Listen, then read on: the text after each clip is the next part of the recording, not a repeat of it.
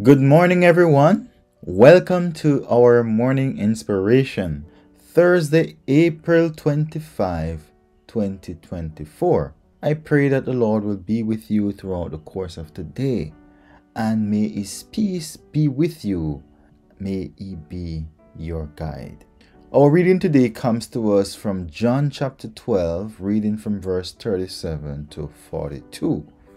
And it says, But though he had done so many miracles before them, yet they believed not on him. That the saying of Esaias the prophet might be fulfilled, which he spake, Lord, who had believed our report, and to whom had the harm of the Lord been revealed. Therefore they could not believe, because that Esaias said again, He had blinded their eyes and hardened their heart, that they should not see with their eyes, nor understand with their heart, and be converted, and I should heal them. These things said Esaias when he saw his glory, and spake of him. Nevertheless, among the chief rulers also many believed on him. But because of the Pharisees, they did not confess him, lest they should be put out of the synagogue.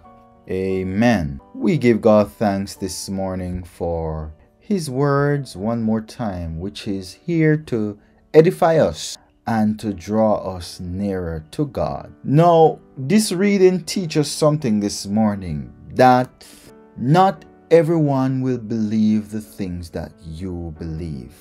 Because we see here where Jesus he was preaching and he was teaching and performing all kind of miracles. Yet there were those among the crowd who refused to believe and some they believed, but they weren't convinced, I guess, or whatever reason they choose not to accept what he was saying. And the reading state that there were some who believe, but out of fear of being ostracized or thrown out of the synagogue, they did not accept or did not confess him. Now, this is something for us to pay keen attention to. The question I would ask you this morning are you ashamed of God? Are you ashamed of who you are as a Christian? Are you ashamed of your identity? Are you ashamed to be identified with God? Because this seemed to be the case here with many of these people with all the evidence that was presented before them, yet they did not believe. And so the scriptures say that their God hardened their hearts. Now, you may ask the question, why would God harden someone's heart? If you harden the person's heart, then the person won't be able to confess or to change. But based on my research and my understanding, when when the Bible says that God hardened the person's heart, it means that the person has been given repeated opportunity to confess and to change their ways and refused to do so. And a perfect example of that is Pharaoh. How many times did Pharaoh got evidence of God supreme authority? And how many times was he warned? How many times was he put in his place? How many times was he given the invitation to change his ways? But he was just bent on doing his own thing. And remember, if you and I refuse to change our ways and refuse to be converted from our wicked ways and our sin, then there's nothing that God can do for you and I anymore. And when you reach that point where you constantly refuse the voice of the Holy Spirit, the pleading of the Holy Spirit, then that is when you your heart has become hardened.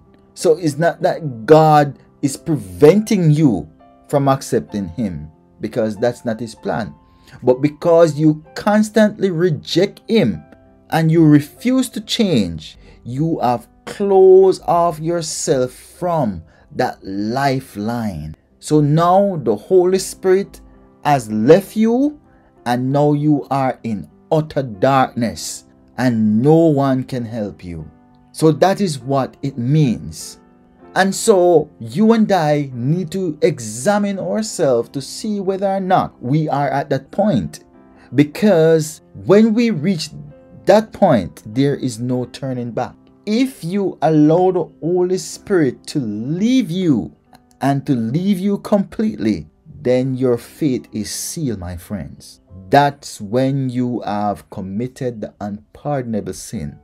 Do you understand? Because now we have no one to what? To work on our behalf, to take our prayers up to Jesus, who in turn will plead our case before God.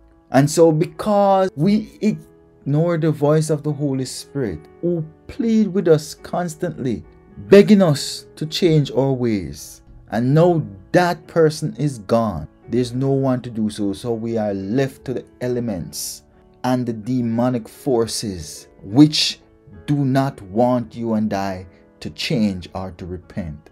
And so at that point, we definitely won't repent and change. Okay? And so we must listen to the voice of the Holy Spirit. We must walk in the way of the Lord. The scripture says, This is the way, walk ye in it.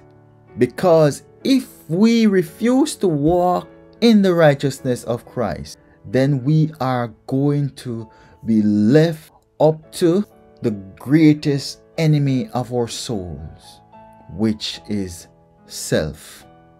And so a lot of time people will draw false notions from the prophetic scriptures and they will also overlook the prophecy that has been spoken because these things were things that were prophesied before that Jesus would come and some of the things that he would have done Yet still, when the evidence is presented, they refuse to believe or to accept. So, our Lord warns them that the light would not continue with them and exhorted them to walk in the light before darkness overtakes them. So he's pleading, the Spirit of God's pleading with you, come out of darkness into the light because those who walk in the light must believe in the light and follow after Christ's directions.